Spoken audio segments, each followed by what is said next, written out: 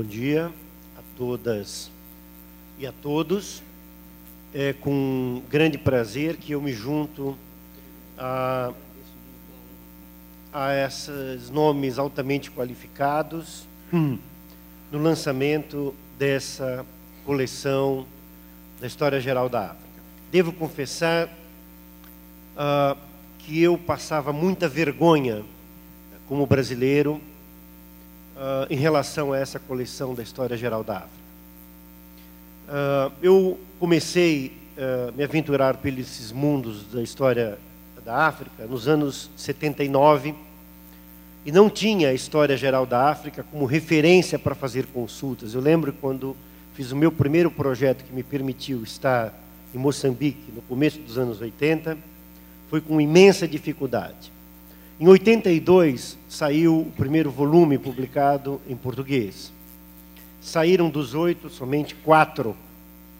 Em todos os outros idiomas que foram para os quais foi feita a coleção, a coleção havia sido completada, exceto em português, e não foi à toa que foi escolhido o Brasil e não Portugal para ser feita a edição. Eu, eu, eu passava uma profunda vergonha de dizer que a única língua em que a coleção não havia sido completada por desleixo, por incompetência, por uma série de outros motivos, mas onde a incompetência e irresponsabilidade em relação à África e aos africanos, os afrodescendentes, era o Brasil, a principal nação que deveria ter sido a pioneira nessa tradução e nessa publicação. Hoje eu posso me orgulhar disso. Tá? E posso dizer que, embora a coleção, como disse o Elikim Bocolô, é uma coleção plantada historiograficamente nos anos 60 e 70. Ela reflete o pensamento historiográfico daquele momento e ela continua sendo um elemento fundamental para o nosso conhecimento sobre a história da África. Eu ensino história da África desde 1984, quando voltei de Moçambique.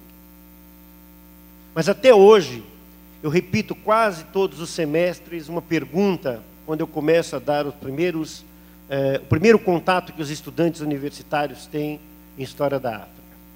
Quando eu pergunto, África, dois pontos, me diga quais são as cinco palavras que lhe vêm na cabeça no primeiro momento.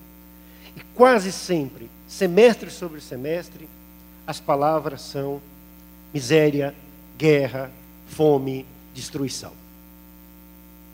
Essa imagem do continente africano, pela negatividade, Eventualmente surge uma palavra raiz, cultura, etc. É uma imagem que foi construída nesse país, nesse mundo ocidental, há vários séculos, e repetida nesse país incessantemente pelos meios de comunicação, pela mídia, etc. Se me permitem, eu vou fazer aqui uma pequena citação de uma famosa repórter, do, do, mais famoso, um dos mais famosos jornais do país, que acompanhando o presidente Lula da sua primeira viagem fez o seguinte despacho a partir de Pretória, na África do Sul. O título da matéria é chamado assim: A África é uma África. Ela disse: A África é um continente com milhões de miseráveis, prejudicado por colonizadores, devastado por sucessivas guerras fraticidas e ameaçado pela AIDS. Mas a África é também um continente promissor, deitado em petróleo, diamante, zinco e alumínio. Além de ter um povo muito particular, uma rica cultura. A música e o artesanato estão em toda parte. Esta era a matéria. Isso publicado em 2003. Eu fiquei chocadíssimo com essa matéria, porque ela repete, repete, repete estereótipos e esses estereótipos estão cada vez mais na cabeça das pessoas. Tá? Isso vem de muitos séculos, esse modelo de que a África é o país das selvas, dos animais selvagens e de povos tão selvagens quanto os animais, que só podem produzir guerras, miséria, fome, doença e desgraça. E mais, o que me deixou perplexo nessa matéria é ela chamar que a África é um continente promissor de petróleo, diamante, zinco, ou seja, acenando para o mundo do capital aquilo, com as matérias-primas exatamente que foram motivo da cobiça dos europeus na sua partilha da África e a sua dominação do continente. E mais, mais um agravante. Ela diz que a África é um povo particular, uma rica cultura. Essa é, homogeneização, para mim, é o, é o, principal fator de desumanização da, dos seres humanos e da desumanização da África e da exclusão da África no processo da história e da cultura da humanidade. Quando nós negamos aos outros a possibilidade de serem múltiplos, de terem múltiplas culturas, de serem múltiplos povos com as suas especificidades, nós os engessamos, nós os transformamos em paradigmas, em referências e usamos sempre como um alvo para tirarmos as nossas pedras do racismo e da exclusão. A África, nesse falar, é, tem uma música e tem artesanato, não tem arte.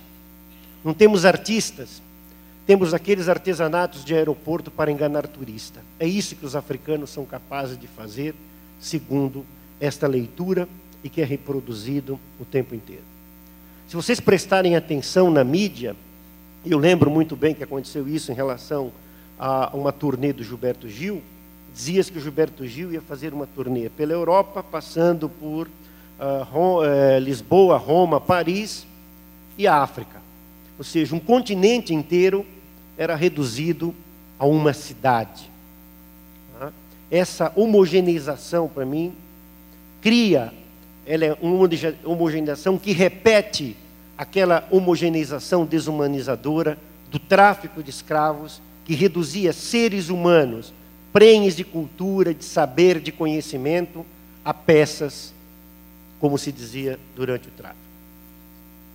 Essa imagem da África e a própria imagem de África é uma imagem criada pelos europeus para a dominação